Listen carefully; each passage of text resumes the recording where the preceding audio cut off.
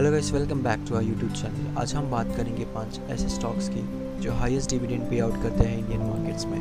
पहले नंबर पे है वेदांता एनर्जी सेक्टर से जिसका करंट मार्केट प्राइस चल रहा है 284 और ये डिविडेंड पे आउट करता है 31 टू 32 परसेंट का। सेकेंड नंबर पे आता है हिंदुस्तान जिंक ये भी एक एनर्जी सेक्टर का स्टॉक है, जिसका करंट मार्केट प्राइस चल रहा है one three twenty eight rupees और ये डिविडेंड पे आउट करता है 18 टू 19 परसेंट का।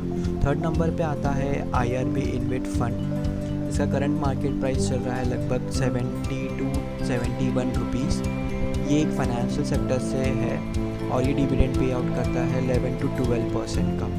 फोर्थ नंबर पे आता है कोल इंडिया ये भी एक एनर्जी सेक्टर का स्टॉक है। इसका करंट मार्केट प्राइस चल रहा है टू थर्टी वन रुपीज़ और ये डिविडेंड पे आउट करता है टेन टू इलेवन परसेंट का।